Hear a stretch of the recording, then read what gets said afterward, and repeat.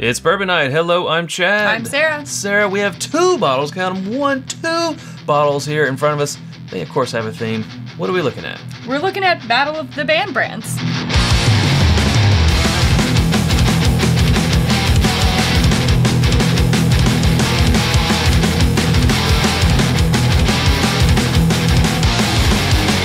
We can't say Battle of the Bourbon. We Bourbon bottle- I can't say Battle of the Bourbon Band Brands. It, like, it, regardless, but Like you also, can't say it because this is actually a They're not whiskey. bourbons. Yeah, There's both, bourbon in there. There's bourbon in both of these. bourbon, but finished. So most some people wouldn't say allow you to say bourbon. Yeah, they're Um, actually b- both combination of bourbon and rye, and then this one is additionally uh, finished. But yeah, we're looking at blackened Metallica, and then number nine, Slipknot. So we thought, you know, why not just try these both together? They have a lot um, in common. well, they're close-ish in price. Um, we got this number nine for forty, and we got Mm-hmm. the blackened for fifty. So within ten bucks of each other. Now I don't know what it costs near you. They're both ninety proof. Uh huh. And they're both whiskeys. They're both whiskeys, Yeah. so they have that. All right, Um, and they have bands behind them. All right, let's see how they compare sonically on a cork pop. Blackened. number nine. Ooh. All right, more more uh, treble on the Slipknot, a little more bass. A little more bass on the Metallica. Yeah, yeah. So there we go. Okay. We have our uh, glasses labeled here on the back so we won't forget what's what. So the blackened is treated with black noise, uh, which is like the sonic enhancement. I think that they're doing. Yeah, so the- that's what they're calling it, a sonic enhancement. Mhm, The black noise process. So that's after it goes into the finishing barrel, Mm-hmm. which is the um, the black brandy casks. Right. So it goes into those barrels, and then a playlist of Metallica songs is blasted at the barrels to agitate Mm-hmm. uh, the whiskey that's inside. And now you can tell what the playlist was right from this batch number. Yep. So like we have batch 89. They started at 81 because Metallica was founded Aw, in how 1981. sentimental. You were founded in 1989. I was founded so in it's 89. it's it's uh it's good. Actually, what you can do, Get on your computer, trusty laptop. go to blackenedwhiskey.com and then to the playlist tab and on number 89, we can tell you the playlist that was blasted at this started with Damage Inc., then I Disappear, Holier Than Thou, Call of the Cthulhu, and Justice for All, great song, um, Confusion, My Apocalypse, and Sad But True. Will this be sad but true? Will it be angry? I'm hope not. Sure. Interesting thing about Blackened is that um, Dave Pickerell of makers of Whistle Pig also consulted. Uh, I believe this was one of the last projects that he consulted on Yes. Um, yes, before before he passed away sadly a few years ago. All right, well, let's first jump into the blackened. Yes, we've been As we talking have enough. it here uh, again, 90 proof uh, mixture, uh, a marriage of bourbon and rye. Very fruity and dessert ish. Yeah, but I'm getting like brown sugar and oranges. Definitely the brown sugar. Yeah, I guess I could maybe see oranges. There is a Orange yeah, zest, a citrus. Yeah, smells pretty inviting. Let's go in. Ooh, it's got a little punch for 90 proof. It does. I've Hmm. had this before. Mm-hmm. I had it at a whiskey festival a couple years back, um, Well, we had it amongst at, many uh, other things. Uh, bourbon and beyond. and we had it at Bourbon and Beyond. And I feel like both times, no offense to it or anything, but you know, it surprised me a little bit. I think sometimes when you get not whiskey industry people like celebrities or musicians or stuff coming into that space, you your kind of gimmick radar goes off and Oh, you're like, sure. is this real? Is it good? Or is this just like a thing? Um, and I think all the times that I've had it, I've been like, I have that moment of, huh. Well, that's Yeah, better than I thought it would be. Well, I think it all goes to who's behind it. Like, who is the bourbon expert? This one being Dave Pickerell. Dave Pickerell. So why is there a surprise? So it's kind of like, you know, when you hire an interior designer, it's your house, but you're hiring them to help you finish it, Mm-hmm. right? To, to decorate it. I feel like it's kind of the same. Like, uh, in this case, two bands. Sure. Say we want to get into the whiskey business. Then you find the the right partner, this one being in Dave Pickerell, and then he led the process. He helps finish the house Right. finish the whiskey. It almost has like this nutty note, you know, kind of like that Dickel type of nuttiness I hear what you're saying. is in there. I think there's a Hmm. f that fruit sweet, almost a syrupy quality at the front. Uh, not syrup as in maple syrup, just syrup as in like simple syrup. But then it turns into I think the rye really starts to shine like mid palate and then onward. Um, you're gonna. I feel like I'm getting you know that rye coming through with a nice warm finish. Uh, for 90 proof, it still gives me a little hug. Yeah. I think it's got some nice flavors. I'm liking the finish. I'm kind of getting like a little bit of a. I was gonna say coffee, but I think it might be a really dark cocoa that kind of hangs around a little bit. I almost get a little bit of clove in there too. Mm, yeah, yeah, yeah. Yeah. Clove. All right, that's a nice start. that is a nice I'm have a sip of water. Now we're gonna move on to the next band, which Mm-hmm. is Slipknot, number nine, named because there are nine members in Slipknot. So Cedar Ridge in Iowa is uh, behind the. This is a collaboration between Slipknot and Cedar Ridge Mm-hmm. uh, to come out with this. This is the 90 proof. There is also a reserve, um, three to four years old. Yeah, you know, just uh, again, same thing with like Dave Pickerell. Uh, they're an Iowa band, so Cedar Ridge was an obvious choice to go to them, and then uh, they collaborated. Especially Clown from uh, Slipknot was the one who was. You don't know a whole lot about Slipknot. That's fine. Um, I've seen I mean, I had a face. Don't get me wrong, but I, I've- had like a Headbangers Ball, like Volume Two, and I think there was like one Slipknot song on there, and I liked that one. well, and, and Guitar Hero, right? A right, rock right, band. right. That is my like uh experience with Slipknot. Well, I've I've seen them live. I've seen both of these bands live. Who was better live? Well, I am more of a, a Metallica fan. Okay. Um, just because Who brought the better energy? been with been with them longer. Well, I don't know. It's not it's it's not really fair because it was a free concert that I was I was invited to. A buddy of mine had an extra ticket, so I went, and it was more in the balcony.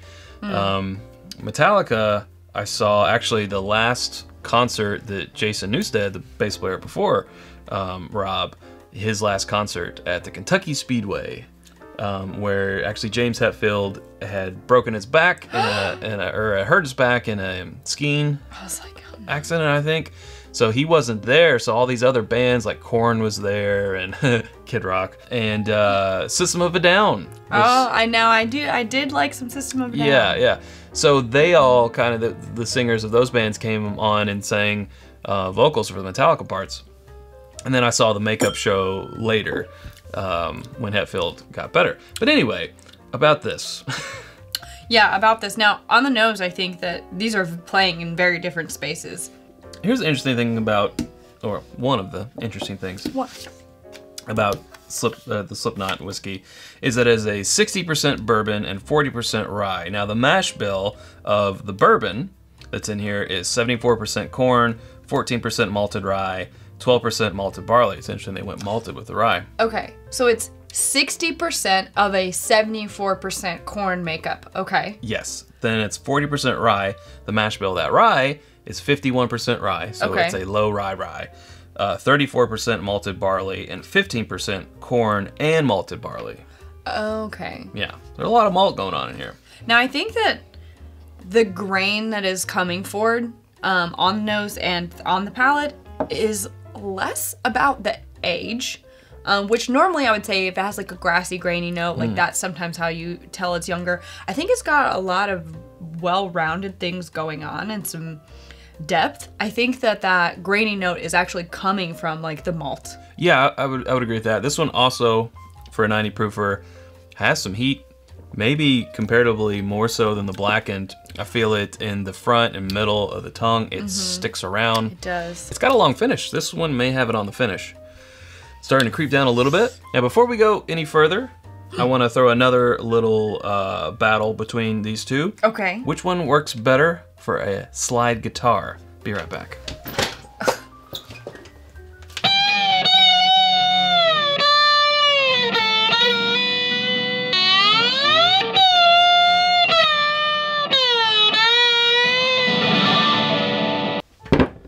Okay. Did you have fun? Yeah, so they're both about the same, but I like how this one has longer neck, so it's just easier to hold than this one. So I gotta give the slide guitar plain to uh, to the blackened, but only Alright. because of the bottle shape. Fair enough. Fair enough. Yeah. This number nine though, it again, kind of like the blackened, and again, that was first time around, has a sweetness up front and that spice kicks in at the end, but I think it's more of like a black pepper Yeah. versus this one had some clove. Um, Yeah, for on. sure. Clove on this one. I'm honestly on this third sip since I took that little slide guitar break. Now getting some winter mint, a little bit of Mm, does have that minty. effervescent, if you will, you Or know? Like a eucalyptus, yeah. clearing up the sinuses. When I go back to the blackened after Uh-huh. visiting the number nine, I get that nutty note that you were talking about. Wasn't picking up on it so much for at the beginning, but now that I have the comparison, One thing I'll say about the number nine is the first sip and even the second sip, I, I thought I was like, oh yeah, I get how this is three to four years old. There was a little bit of, uh, I don't want to say youth, but I could kind of pick up on that. With subsequent sips, that kind of goes away. That that kind of just leaves the mind. It really does.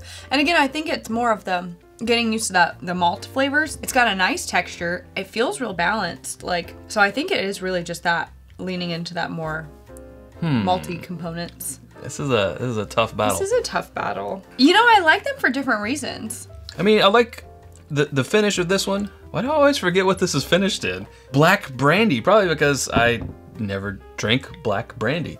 Um, Instead of oh, Black Betty. bam blam, oh, black, black, Now it's Black Brandy. Black brandy, bam blam. Uh, Just another musical thing to yeah, throw well, in. there you go. And then there's that band. Who's that band? I don't know. Uh. Off the top of my head. So as we kind of taste these back and forth and try to get a decision here, we want to pause for a second and tell you about our home on the internet. It's whiskeyambitions.com. It's where you can get, hey, actually, this T-shirt, uh, these Glencairns, our water glasses, our rocks glasses, our challenge coins, and more. Always coming soon. That's whiskeyambitions.com. Sarah's going to tell you about Patreon.com. It's patreon.com slash it's bourbon night, and you can join for as little as $1 a month. We'll do an after the episode after this that only patrons can see. That's right. Um, where we break it down just a little bit more. Pa- patron only podcasts, uh, events, barrel picks, first crack at, you know, challenge coins, all kinds of stuff going on. Boom. All right, so yeah, now I think just like when we do in our in our flight fights, we kind of A/B test. I think we just need to take a little pause here and kind of just do these back and forth, which isn't the best for camera. Not the most entertaining. So we'll just be back in a little bit. Okay, we did these back and forth. Um, I think we have we've well, I know we've said that we've both come to a decision. We've both come to a decision. We have not revealed to each other what that decision is. All right, so we're gonna do the go after three. So the three, two, one, and then go. Um, Then on go, right? ready? Ready. Three, two, one. Okay. Aha! All right. I went back and forth a lot. So close though. What ended up happening for me was that there was a little bit of like a licorice cherry flavor that came out in this one that is just not not for me personally. So I really liked the nuttiness, like a little bit of that that was going on here, just the overall balance of flavor. Yeah, that's why I linked blackened. What about you? Yeah, I feel like maybe it was the finishing technique on this one. Mash bill. This one also didn't give age, so I don't know if it was an age thing or not. Yeah. But this one just had a little bit more finished. No pun intended there, but a little bit more of a finished quality to it. Where mm-hmm. this one, where it is good, and if I was just drinking it by itself, I would completely enjoy it. But comparing the two, like we were, I felt like this one had a few sharp edges mm-hmm. that seemed to be smoothed out in this one. Now, you know what? There is actually a step up to this one Oh, what? at 99 proof, and it adds reserve. Oh. Yes, it's oh. number nine, reserve. How would it fare against this one? I don't know. Oh, but wait! Look, we've got the bottle. Oh, but wait, we have the bottle. And look, we've got a third glass. That's what this is for. I forgot about this. Let's just But I'm also it. not surprised this is a very Chad thing to do. Three uncorkings in one. Ooh, it was loud. It it, was loud. high. Well, that's just the bottle shape, I do believe. Reserve. Now, this one is a little bit older. A little bit older. This is- Minimum age on this one is four. Four. Yes, that is correct. and this is a 99 proof, 99 proof. not 100. Nope. A little bit more expensive. Uh, we got this one for 65? 65. Yep. Yeah. Now that I'm going back, like the grainy notes, the fruit notes that I was getting on the regular number nine, I am not getting. have to get some more blackened. Yeah. Um, immediately, I think the no- up. the no- the noses are more similar right here than they are here or even here. Here. Uh, yes. I agree with you. Yeah, same mash bill, same percentage, all that. It's just a little bit older and it's higher in proof. Okay. And immediately from the taste, I can tell you that those sharp edges that I was getting on this one are smoothed out in the same way that they are in the black. I agree. yes. Do you know what? I never expected to be like I love like I really liked uh, Metallica and Slipknot's whiskeys. Like in my life, I never thought that I would Hey. utter that phrase. It's a great time to be alive. Um, would buy again? Mm, not unless I had a specific thing in mind for it. okay. It's fine. Would want to have, you know, it's interesting. I think it's a cool um, The different conversation batches. starter. Yes, it's a very good conversation starter. Would buy again. Would buy again. Yeah. So, did we just skip to the recommend or not part? Mm. Because, yeah, I'd recommend. Sorry, I jumped. I, I think I, I, would jump the shark? recommend. And this one, you know, I think I would have these two first. Correct. I agree with you. Like going back and nosing Hmm. the number nine against this one, I'm just getting all that licorice that I picked up on a little bit of before, which is just I'm being like further turned off by it. So now between these two, Well, the okay. reserve and the blackened, 50, 65 yeah, I feel like area. This is a healthy competition right yeah, here. Yeah. Both really good, and it's gonna come down to what, What are you, in, the, mood, for? This one's got more sweetness to it, but it also brings that pepper, like this one did. It's like this num this nine is Yeah. the reserve is pulling out all of the nice things that I was liking in here, Yeah. and it's just more refined. Yeah. Do I have to? I do feel I like- have to choose? It's gonna be a co-headlining tour where one night Metallica closes, and then the next night Slipknot closes, and they rotate back and forth. I don't know. I feel like people are gonna be like, but which one? Okay, I have my choice for today, but it's hard. It again. Tomorrow I would choose a different. Three, two, one. Oh, I thought that was gonna happen. yeah. Today Yeah. I would choose this, but I really like this too. Today I would choose this. Tomorrow I might choose this. I don't know. I think I just kind of locked into this flavor profile. I just have like a honey note that I also really like. yeah, and I'm just kind of feeling really this right feeling this though too. Yeah.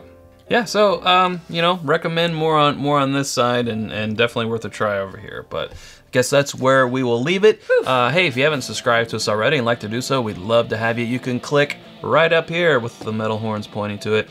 There's also other videos right down here that you can click on. We hope to see you over there in those. Thanks, Sarah. All right, until next time. Why did I whisper? drink more bourbon?